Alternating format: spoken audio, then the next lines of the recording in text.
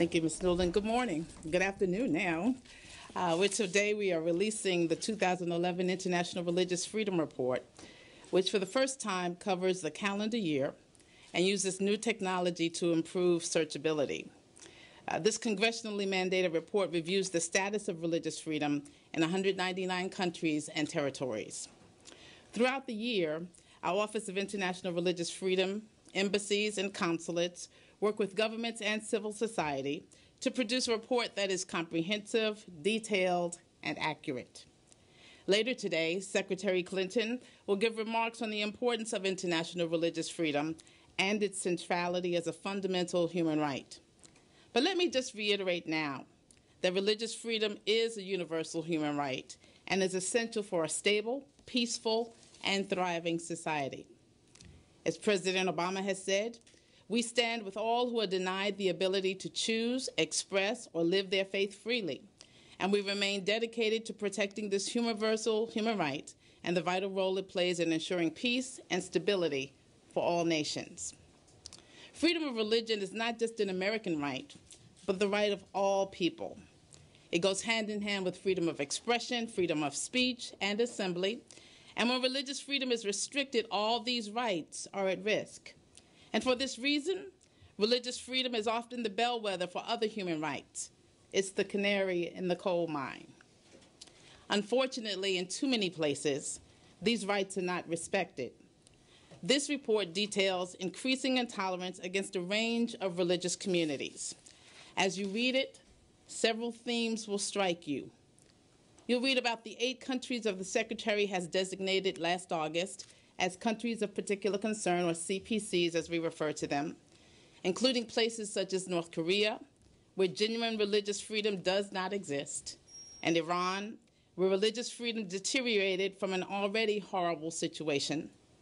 And you'll see that in countries around the world, anti Semitism was on the rise, evidenced by attacks on adults and children and the desecration of cemeteries. Let me share with you some other troubling trends. In a number of countries, individuals were detained or imprisoned because of their religious beliefs. In Iran, Pastor Nadarkhani faces a death sentence just for his faith. The government continues to detain over 100 Baha'i, including the seven Baha'i leaders whose sentences for espionage for Israel, insulting religious sanctities, and propaganda against the system have been re extended to the original 20 year penalty. In other countries, increasing using increasingly they're using blasphemy and apostasy and dissent laws to curb religious freedom. In Saudi Arabia, blasphemy against the Wahhabi, the interpretation of Sunni Islam, continues to be punishable by death. This February, a young blogger, Hamza Kashgari, was arrested for questioning his faith on Twitter and he still remains in jail without charge. In Pakistan, authorities continue to invoke these abusive laws, where hundreds of Muslims and non Muslims were convicted of blasphemy. Asia Bibi, a Christian, remains in prison awaiting an appeal of her 2010 death sentence for blasphemy. Some of those who publicly criticized the blasphemy laws have already paid in their lives. Governor Punjab Salman Taseer, Minister of Ministry Affairs, Shahbaz Bhatti, have already paid with their lives. In nearly half of the world's countries, governments either abused religious minorities or did not intervene in cases of societal abuse. In Egypt, the former regime routinely discriminated against religious minorities, particularly Coptic Christians and Baha'is, and failed to curb rising violence against Coptic Christians and their places of worship. These patterns have continued during the post revolutionary transition. Last October, security forces attacked demonstrators in front of the Egyptian radio and television stations in Cairo. 25 people were killed and hundreds were injured, most of whom were Coptic Christians. And to date, no government official has been held accountable in this attack. In Burma, long simmering tensions recently erupted in widespread violence against the marginalized Rohingya community. And in other countries, governments misuse laws to restrict freedom of religion, expression, and assembly. China restricted the practices of many groups, including unregistered Christian churches, Uyghur Muslims, Tibetan Muslims, Tibetan Buddhists, and Falun Gong practitioners. The self immolation of over 40 Tibetans to protest Chinese policies continue to demonstrate their desperation. Russia and Uzbekistan invoked national security as a pretext for restricting the rights of some peaceful religious groups. Other governments used registration laws to restrict the rights of religious communities. A number of countries, including Belarus, Hungary, and several in Central Asia, have rigid laws that make legal registration for religious communities difficult, which often meant unregistered groups were ineligible for state financial support or tax benefits and were unable to own property. In Belarus and some Central Asian countries, unregistered groups were also frequently unable to gather for worship or practice their religion at all. And this type of favoritism by governments can empower societal abuse of religious minorities. In several countries, governments limited the right to wear or not to wear religious attire. This decision should be a personal choice. And increasingly, some European countries enacted or drafted legislation to ban attire that covers the face, and these bans particularly affected Muslim women.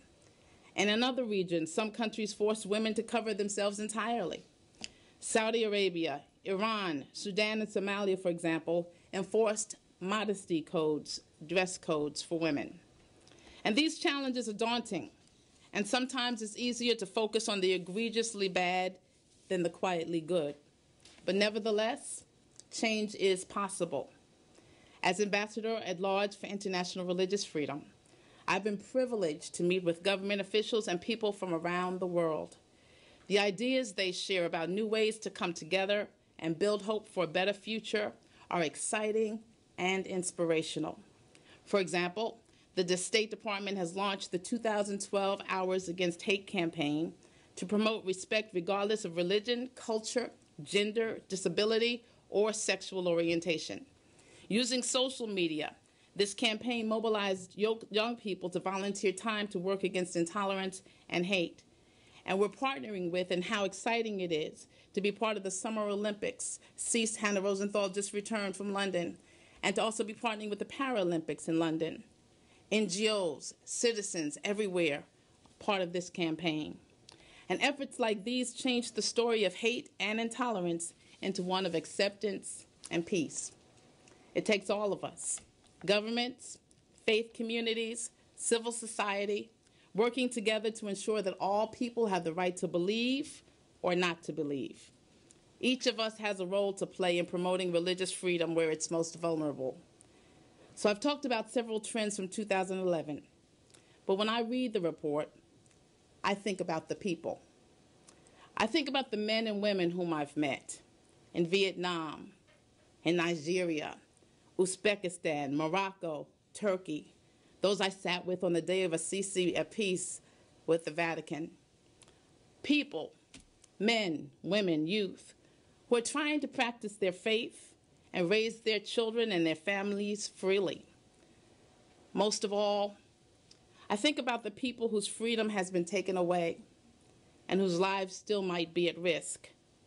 Pastor Nadarkhani, 1,000 days plus incarcerated. Hamza Kashgari, Asia Bibi, and some whose names we cannot call.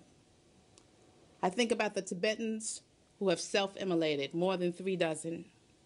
And to these, and to the many others in jail and in danger, and to the family of those who've lost their loved ones because of their faith, we dedicate this report. And we dedicate ourselves to continuing the fight for international religious freedom. Let me take this opportunity to wish our warmest wishes and regards to Muslims around the world as they observe this month of Ramadan. It is now my pleasure to receive your questions. Thank you. Who'd like to start today? Joe, please. Um, with the, uh, I realise this report is focusing back on 2011. Yes. And so, with when we had the launch of the Arab Spring, Do you have um, hope that in 2012 some of the criticisms that you have against those countries will be alleviated? Do you see that things are changing as the Arab Spring movement progresses in these countries? This is a great question. You are correct. This report was on 2011. The Arab Spring continues to ha- um, happen. You know, in places like Egypt, they're still in transition, even though they've just had elections of their president. Um, you know, their president Morsi has declared that he is going to be more inclusive in his cabinet. He's declared that there will be a woman, there'll be a Coptic Christian, there'll be secular citizens, and so we're looking as they form new constitutions. It's a wonderful opportunity to include religious opportunities and li- religious freedom. So we're looking for them to hold accountable those who are perpetrating these violent acts. We're looking to them to protect religious minorities and all citizens and, and adhere to the universal human rights. And we're looking to them to where they can reform or repeal or change laws that discriminate to do that. So that is my answer to your question. They're in transitions that are important, but we're looking to them to honor what they said they will do. Here, can you identify yourself, please? Yes, Maria with EFE News Services in Washington. I was looking at the executive summary, and I was wondering if you could um, expand a little more on the comment on Cuba. On the one hand, you're saying there's been an improvement in respects in uh, respecting uh, religious freedom, but on the other hand, you're saying that there's still significant restrictions. So how do you, you know, reconciliate those two statements? I mean, can you elaborate on what's going on now? And I realized the Pope's visit was this year. Yes. But I was wondering if maybe they were prepping up or gearing up to the visit, and that's why the improvements were there. Or can you elaborate? Well, again, this report is about 2011, but currently, you know, there's both and. There are places where the government restricts religion, and there are places that they're pragmatic openings. The U.S. government is encouraging those religious groups to be able to travel there and be able to have an opportunity post the Pope's visit to be able to engage with communities of faith there. So it's a both and situation, and we're hopeful that they will uh, continue to open the door um, and work on their religious freedom issues. Ji Dongming, I'm with South Korea's Yonhap News Agency. Like you said, these reports cover situations in 2011, but North Korea had a leadership change at the end of the last year.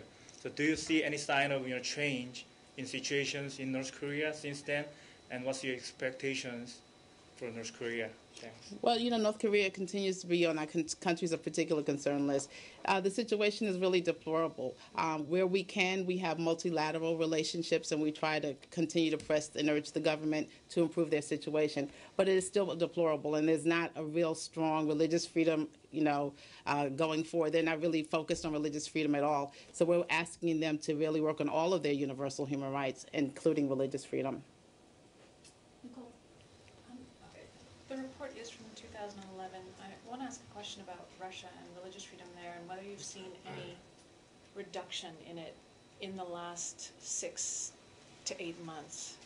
Well, that's a great question. You know, Russia continues to uh, misuse the extremism laws, and that's something that we're focusing on continually um, on a whole of government approach. We're, you know, urging the government certainly uh, to not misuse those laws and to certainly adhere again to the Universal Human Rights Declaration and the International Covenant of Civil and po- Political Rights. So they still have the issue of the, you know, misuse of extremism laws, and we will continue to monitor the situation. We're certainly concerned about the people who are affected, but we will continue to monitor the situation and press the government. Um, question on Iran. Um, you said, and the report says, that um, religious freedom deteriorated further from an already egregious situation. Um, but at least in the executive summary, the, some of the issues that you mentioned, the restoration of the 20-year sentences for the Baha'is, for the seven Baha'is, and the continued incarceration of the Christian pastor, um, you know, in a sense, that, that doesn't suggest that it's even worse than it was before. What what else is significantly worse? Well, you know, the trend with Iran, it's also a country of particular concern, and it, it continues to be stagnant. It hasn't improved or deteriorated. We are concerned certainly with Pastor Nadarkhani, which is not only our concern, Congress is concerned, civil society is concerned. On July 8th, which was his 1,000th day incarceration, uh, the State Department issued a, a statement for his release to, to Iran. We work multilaterally, multilaterally with Iran. There are sanctions that have been imposed on them. Uh, 14 organizations uh, religious freedom organizations and four individuals have have had sanctions imposed on them. So we continue again to assess the situation, and we repeatedly uh, try to uh, monitor that situation. You see it here. It says it's deteriorated further from an already egregious situation, um, but you just said it was stagnant, neither better nor worse. W- w- Deteriorated from from 2011, actually, but the situation is bad. I mean, it's mm. not not really improved. Is really what I should say. But it's not just Pastor Nadarkhani, but it's also the Baha'is. There are other religious minorities that are you know being detained, and so we're looking at that situation very closely. But it continues to be a country of particular concern, and the sanctions are used. Here, you Please identify yourself. Right, Shannon Adams from the Epoch Times. Um, at a congressional hearing last week, Representative Chris Smith uh, said that the United States should be taking a stronger approach on human rights and religious freedom uh, with China and mentioned sanctions which can be imposed as part of the CPC. Taken that the situation has deteriorated further for religious, religious freedom in China, uh, the persecution that's against Falun Gong practitioners has intensified as it has for Tibetans, House Christians, and Uyghurs. What sort of pressure is the State Department uh, considering against China to see some improvement for this year? Thank you for your question. Um, you know, just this past week, the Chinese Human Rights Dialogue was held here, and I participated in that, and I raised the religious freedom issues. I mean, it's a complicated situation where there are many conversations going on, but we raised the religious freedom issue. It's not just about the house churches, which you mentioned, but the Uyghurs, the Falun Gong, the Tibetan immolations. When you have more than three dozen, it's a sign of the desperation that the people are under. And so we continue to press with that government for uh, there are also unregistered churches beyond the house churches that don't have a chance to express their faith and their belief. So we continue to press the government in terms of freedom of expression and freedom of, of religion and also just universal human rights. That's a continuing conversation and we will not let up. Yes. Could you just tell us what kind of response you got in those meetings when you raised the issues during the strategic dialogue? Well, y- there was discussion, and you know the co- discussion will continue. And as the department is it ready to release the report in terms of what the results of those discussions were, I will be doing that. Thank you. Michelle? Thank you. Uh, Are the CPC for this report uh, uh, the- still the same, and what do you consider what's happening in Syria? In Syria, I mean, it's a, it's a tough situation. We're seeing much in the media as you see each day. We're looking to a post-Assad Syria, and you know the president has called for his removal. We're looking for a government that will be inclusive of all minorities and religions and all citizens. Um, that they have to deal with human rights in general, but religious freedom specifically. So we're looking for a post-Assad inclusive regime. And what about the CPC? Are they still the same in this uh, in this report as last In report? 2011, I refer you to the report is where they are. Yes. Are they the same 2010 to 2011, or was there a change? Yeah. there really has not been a change. I mean, it's, it's really deteriorating. Until you know there's a post-Assad regime, we will not be able to. Uh, you- we will not be able to, you know, tell you in terms of how they've moved forward. 2011 and 2010 pretty much uh, deteriorated. The trend was deteriorating. We have time for, we have time for two more. Elise? I think actually he meant are the countries that are Yeah. CPCs Okay. in 2011 the same countries. Did you add or subtract it? Are they, Okay, in terms of designation, yeah, my my opening, um, they're the same countries that were there, the same eight countries. um, on Yes. Egypt, Mhm. um, uh, clear on obviously country. the situation with the Copts, Coptic Christians was a, a, a factor in Secretary Clinton's visit to Egypt. I'm wondering what um, assurances you've been given from President Morsi that he's going, because in, in the report, obviously, um, the interim government did not, in fact, took actions against Coptic Christians. So, what assurances is, have you been given by President Morsi that he's going to look at the situation, and, and to what extent could you use aid as a lever to make sure that the government?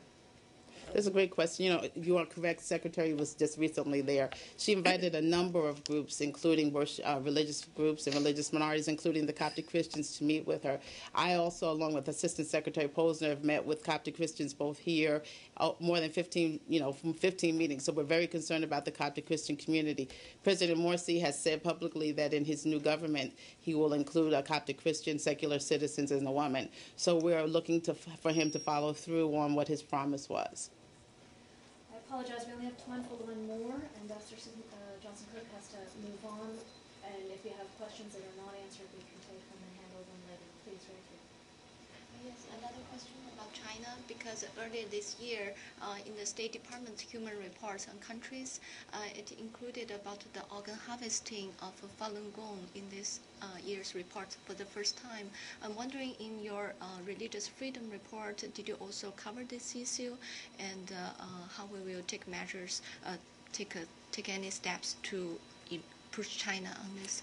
As I said, yeah, as I said previously, I think as I asked our question, we're concerned not only with, you know, the Tibetans and with the, uh, the Uyghurs, we're also concerned with Falun Gong as well, um, the house churches and the unregistered uh, faith groups. So we're concerned that people of all faiths have an opportunity to express their faith. So we certainly have raised Falun Gong. Thank Yeah, you. But besides raising the questions, did you will you take any concrete measure measurements to um, to help improve the situation there?